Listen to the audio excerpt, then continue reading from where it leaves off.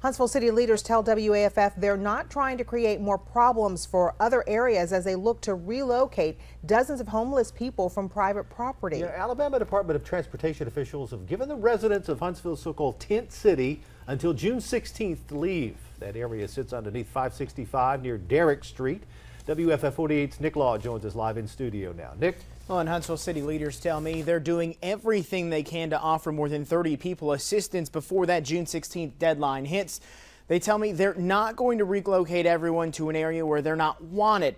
They are looking into multiple sites, and today Huntsville police and homeless advocates collected information. Now, some of the residents have hung signs in protest of ALDOT's order to leave. City leaders tell me they're doing everything they can in their power to help these people. They say it's a sensitive issue and something they're not able to solve overnight. Now, we're not going to just pick them up and relocate them to another place that's inappropriate. In many cases, they, they will choose where they go. Uh, we aren't physically moving them. We're letting them know they have to move.